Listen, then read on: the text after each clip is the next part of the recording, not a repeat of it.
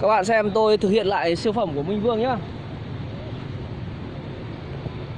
Vâng, Minh Vương hôm qua đã sút trượt một quả pen Cũng uh, rất là buồn. Nhưng mà cũng phải thông cảm cho các bạn. Nhà tham gia được cái giải châu lực như này là rất là tốt rồi. Và nên động viên các bạn Để các bạn tự tin hơn. Tất nhiên uh, nếu mà tiếc ấy, là phải tiếc ở cái trận trước. Đó là cái trận mà đấu với Hàn Quốc.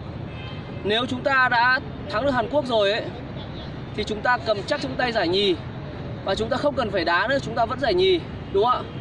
Nhưng chúng ta đã mất sức với Hàn Quốc rồi, Xong chúng ta lại cố cố gắng giành Giành huy chương đồng, Thì chúng ta lại mất sức hơn nữa Và lại càng khó khăn hơn nữa. Thế chính như vậy là Yếu tố thể lực giảm sút, Tâm lý giảm sút vì đã thua trận.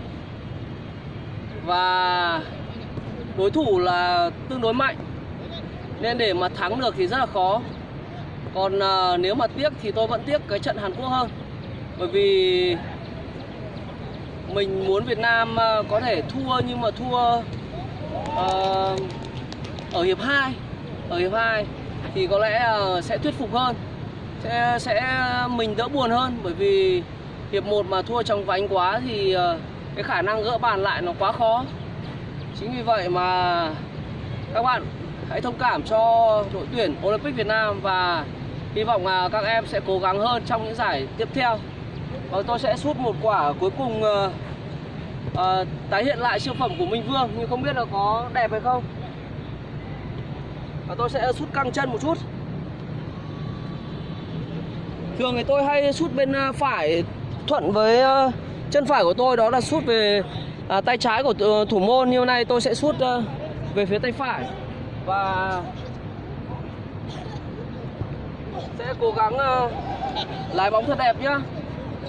Vừa mà trong vừa mà trong uh, chân phải.